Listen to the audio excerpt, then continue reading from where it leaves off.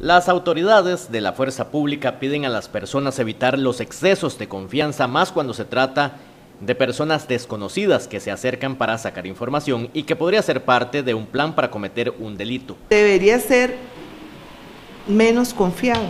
Son personas muy lindas, yo no soy de aquí y yo lo decía la vez pasada, yo me he sentido bien porque aquí todo el mundo es muy amable, son muy accesibles, pero eso también puede ser contraproducente, contraproducente cuando nos encontramos a un delincuente que lo que quiere es sacarnos información, ¿verdad? Entonces nos encontramos que sin darnos cuenta le decimos dónde vivimos, de qué familia somos, a qué nos dedicamos, cuándo vamos a ir a pasear, cuándo no, ¿verdad? Otro aspecto que puede facilitar el trabajo de los delincuentes, más en época de vacaciones, son las publicaciones en redes sociales. Estas podrían ser una alerta para los amigos de lo ajeno cuando se trata de casas solas.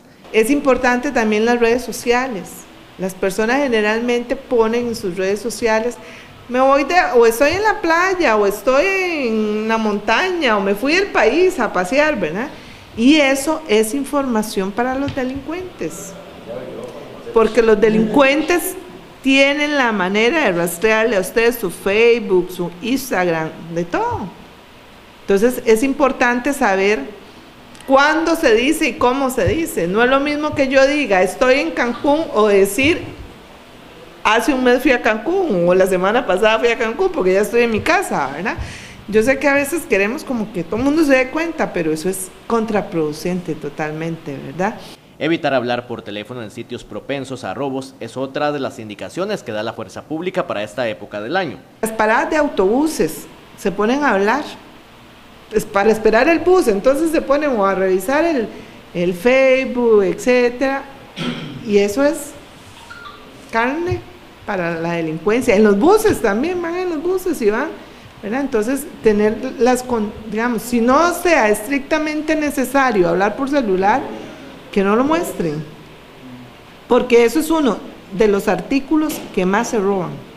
Y es que la fuerza pública también tiene que atender la problemática de la violencia en los hogares generaleños que cada día aumenta en esta región, de la mano con otros temas que también preocupan. Aquí hay problemas grandes de alcoholismo y hay problemas grandes de, de, de menores y falta empoderamiento de, de las mujeres, me parece, ¿verdad? Porque, no sé, eh, hay mucha, mucha, mucha, mucha violencia doméstica en este cantón y es algo que hay que buscarle solución. Y como le digo, el 80, el 90% del trabajo policial se dedica a atender violencia doméstica. Y es que si fuera que nada más uno va y ahí muere, no, es que si la persona se niega, el policía tiene que hacer el informe, tiene que ir a la corte, tiene que ir a avisarle al juez de que la señora no quiere denunciar, o sea, ¿qué? Hora, hora y media se lleva cuando nos va bien un cumplimiento de violencia doméstica. Recomendaciones valiosas que hay que tomar en cuenta para este cierre de año.